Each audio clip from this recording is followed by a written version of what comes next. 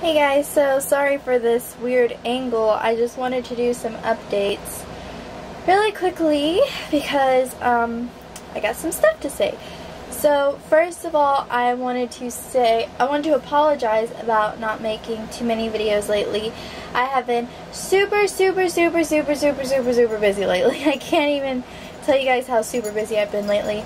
Um, basically, school started back up, and I am now a full-time student. I'm taking four classes, and one of my classes, government class, has an overwhelming amount of work. I kid you not. In one week, I had five quizzes, one writing assignment, um, a thousand word essay or over a thousand word essay, and an exam all in one week from one class. So just to give you guys a little idea of how busy school is keeping me, it's keeping me really busy. So needless to say, I haven't been able to keep up with videos as much as I would like. So that's one thing. And then um, the rest of my spare time, it goes to spending time with my fiance because if you guys didn't know, he's uh, joining the military and he goes to boot camp in March. So you know, I try to spend as much time with him as possible because we won't be seeing each other for a while once he goes. So there's that too. And so basically Reborns and YouTube have been put on the side for now, but don't worry, I'm still very much into Reborns. In fact, I have a big surprise for you guys, um, which I will tell you sort of at the end of the video, but um, what else? Oh yeah, I have the Freya kit as you can see from the last video on eBay so please go check her out.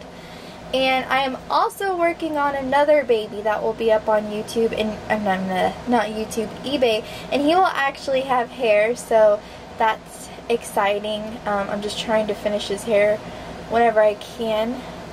But yeah that's basically it for why I haven't been making videos. Like I said I'm still very much into reborns just been really busy lately. So, yeah.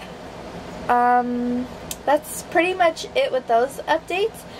I am expecting a very, very, very special baby.